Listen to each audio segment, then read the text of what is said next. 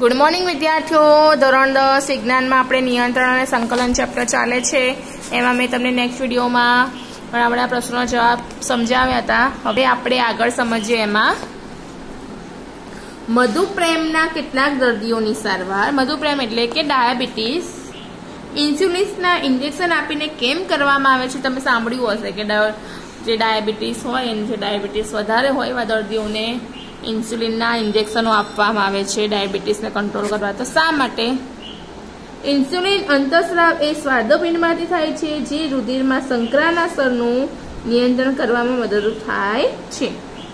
જો ઇન્સ્યુલિન યોગ્ય માત્રામાં સ્તરિત ન થાય તો રુધિરમાં સંકરાનું સ્તર વધી જાય છે અને ઘણી બધી હાનિકારક અસરનું કામ બને, કારણ કરે છે.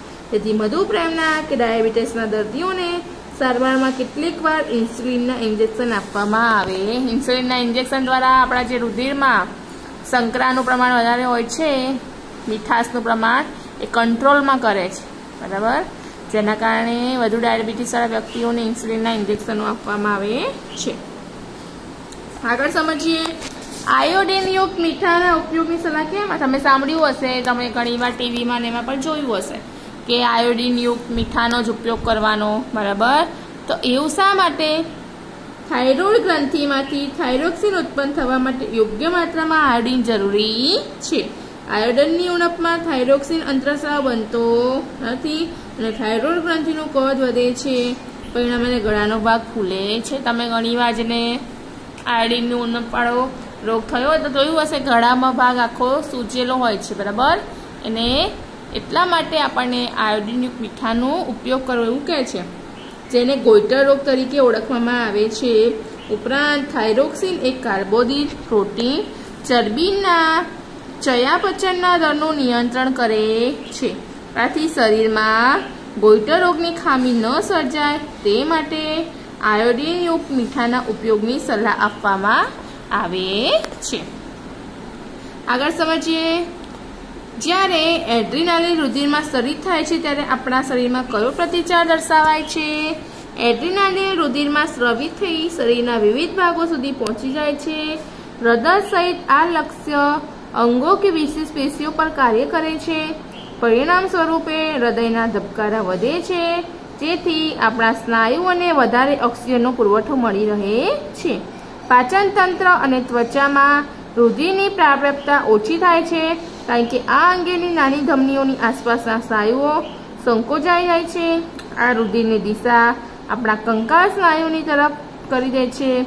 ઉરોદર પટલ અને પાંસળીઓના સ્નાયુનું સંકોચન થવાથી શ્વસન દર વધે છે. આ બધો પ્રતિચાર મળીને પ્રાણી શરીરને સ્થિતિથી લડવા માટે તૈયાર કરે છે.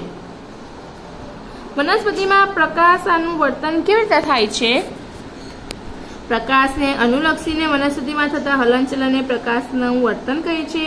દાખલા તરીકે એક કુમળા છોડના કુડા કુંડાને એક જ બાજુથી પ્રકાશ આપી શકે તેવા નાની બારી રાખેલા લાકડાના કે કોઠાના અંદર બોક્સમાં મૂકી રાખવામાં આવે તો વૃદ્ધિ પામતા છોડનું પૂરા ગ્રહક બોક્સની બારી તરફ વળીને બારીમાંથી બહાર આવે છે. આમાં પરથી કહી શકાય કે વનસ્પતિનું પ્રકાશ સૂર્યપ્રકાશની દિશા તરફ વૃદ્ધિ પામે છે. જે સામાન્ય રીતે પ્રકાશનું વર્તન તરીકે ઓળખાય છે. કરોડરજ્જુને ઈજા થવાથી કયા સંકેતો આપવામાં ખલેલ પહોંચે છે? પરાવર્તી ક્રિયા એ મગજની જાણ બહાર થતી અનિચ્છિત ક્રિયા છે. મગજ અન્ય કાર્યમાં રસ હોય ત્યારે ઉત્તેજના સામે ઝડપી અને વિચાર કર્યા વગર કરોડરજ્જુ સ્વયંવર્તી રીતે પ્રતિચાર આપે છે. પરાવર્તી ક્રિયા ઓક્સિજન સંજોગોમાં શરીરને લાભ આપે છે.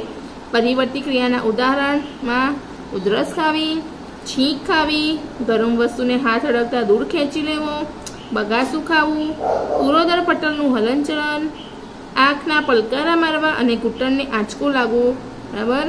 કરોડરજ્જુને ઈજા થવાથી આ બધી જે સ્થિતિ છે આપણી, એને ખલલ પહોંચે છે. અત્યારે આપણે આટલું રાખીએ છીએ આ ચેપ્ટરમાં.